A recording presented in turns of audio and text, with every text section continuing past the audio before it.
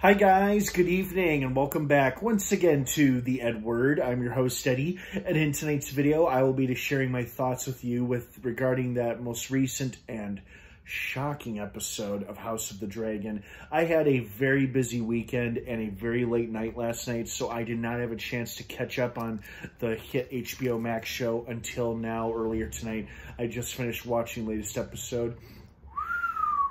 Yikes, am I right? Ooh, there's a lot to unravel and talk about here. So before I get into all of that, please be warned, obviously, like most of my episode reviews, this is a spoiler-filled review. So if you're not caught up on House of the Dragon by this episode or the past couple episodes, you don't want to keep watching or listening, as I will be discussing spoilers, plot details, all that jazz, you know, all that fun stuff. So you have been warned, and this was a doozy of, of an episode. So if you're not caught up, for God's sake, get caught up and stop listening to this video. Anywho, let's get right back to it.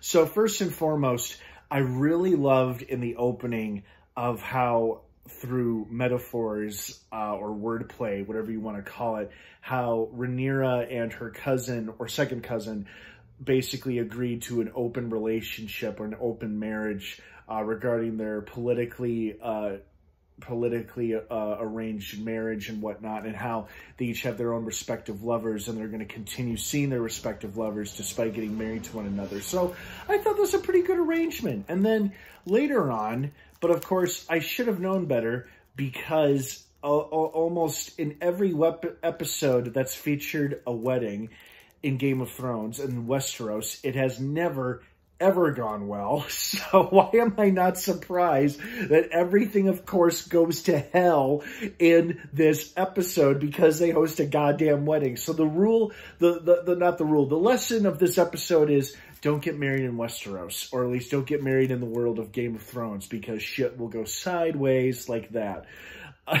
so, because I felt like, wow, there's a pretty good arrangement here, and the two respective lovers have met and talked with one another, or at least, you know, the Velaryon prince's uh, lover talked to uh, Sir Criston, and he seemed to say, hey, man, just so you know, here's where we stand.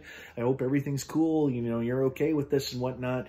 You know, and then Daemon seemed to be behaving himself despite brutally murdering his wife. Although, I can't tell if he intentionally planned for to spook her horse so she would fall off and die, or if he took advantage of a very bad death situation, which led to her actually dying. Which makes me wonder now, is he the now the Lord of the Vale? Because that was the Vale.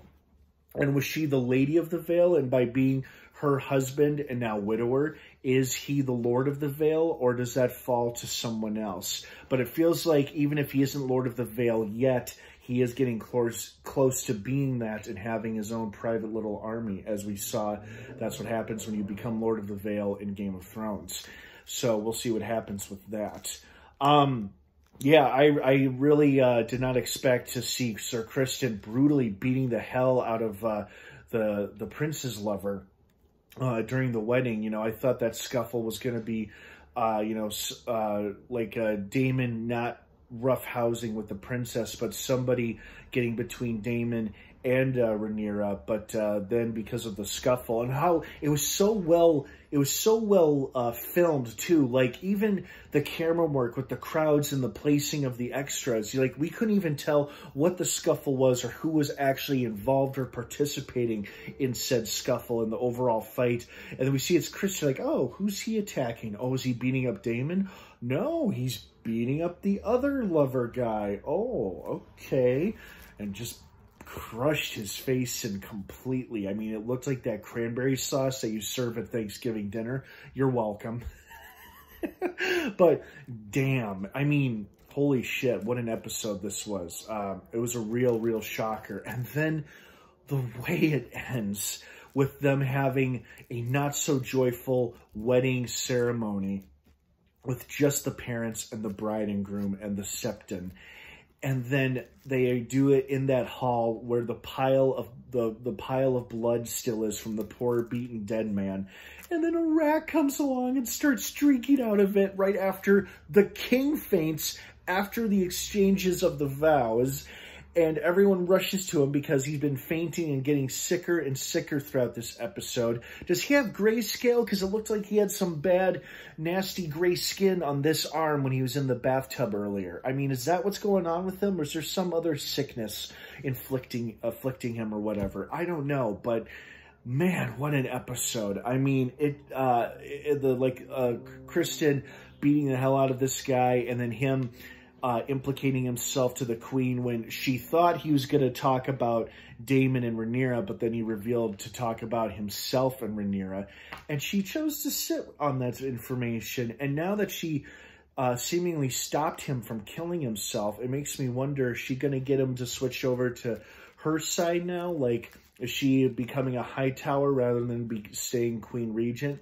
It's hard to say. Allegiances are always changing in this franchise, so you never know where people stand until it's too late. But man, what an episode. It was a jam-packed episode, dude. So much happened. I mean, wow.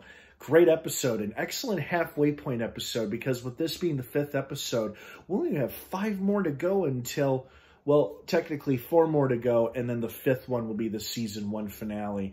And then the show isn't going anywhere as it got a season two pickup, so it'll be very interesting to see what happens in the coming episodes. So I hope you guys enjoyed this episode as much as I did. What did you think of it? I'd love to hear your thoughts and feelings on it. Thank you so much for watching. Have an awesome rest of your night, and thank you for bearing with me with this uh, slightly delayed video. I do appreciate your support and loyalty. Have an awesome rest of your night. House of the Dragon Dragon drops new episodes every Sunday on HBO Max. Don't miss it. It's a great show. Have a good one, everyone. Thanks for watching. And of course, until next time, may the force be with you.